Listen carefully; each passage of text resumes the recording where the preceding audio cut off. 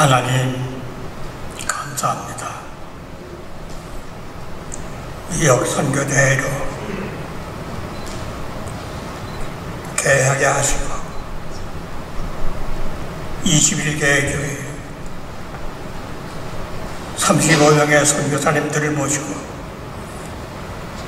미국 선교 도시로라는 표제하에 새 터널을 맞이했습니다.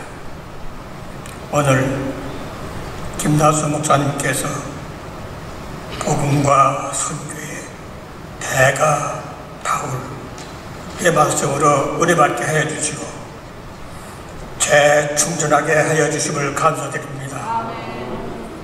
선교, 전도는 하나님의 섭리에 순종하여 예수님을 필수적으로 전하는 사명으로 세계 만방에서 일하실 일사각오로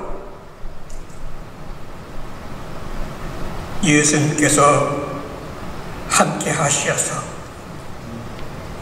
죽음에서 영생으로 부활을 전하시는 선교사님들에게 건강과 영력을 더해 주시기를 원합니다.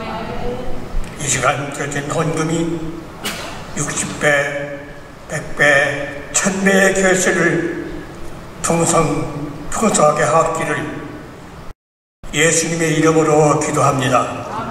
아멘.